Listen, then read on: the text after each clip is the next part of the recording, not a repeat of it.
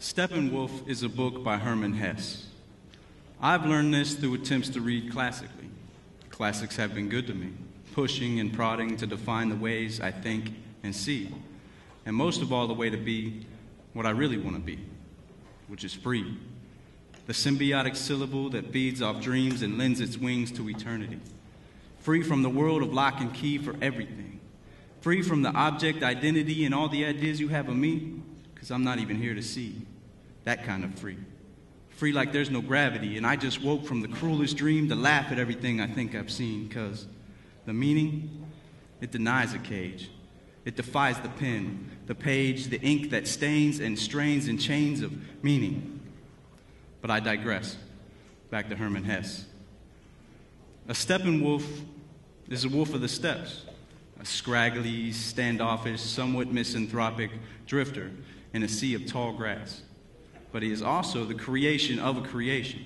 One side of Harry Haller's personality, the main character in Hermann Hesse's somewhat autobiography. And this is Harry Haller's Wolf, written by me.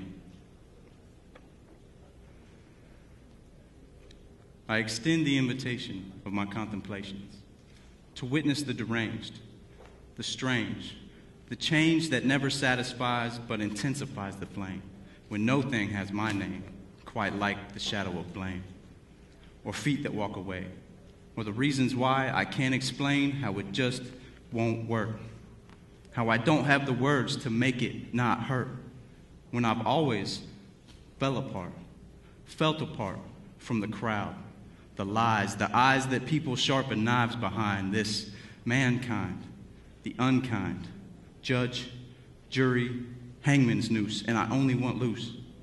I only want loose from the human race and the nightmares we chase while we call them dreams. When it seems, no matter what you pay, somebody pays more. And those who pay the most are called the poor. Our children are taught for factories, but learn to spin like kings for disposable things, kept like carrots on a string just past the fingertips, and the only prayer that's on our lips is more. Please, more. Please, more, like the plastic washed up on our shores and no one knows where the future went. Sold by corporate government while we lose our homes, but joyfully become our favorite TV shows, where nothing is ever too much, but average is never enough. It's a poison that I touch, that I see, that I breathe, every rotten thought that I conceive till I believe that there's no worth in our societies. And I hear the echo of these screams fade to silence when I find the box in which I've placed my mind the casket for my empathy, when all I really want for me is the space between who I am and who I used to be, the child of a prison and the man who would be free. So forgive me if I sometimes show my teeth, now that you may know what it means to seek a syllable seeming only to be found in books and dreams. Thank you.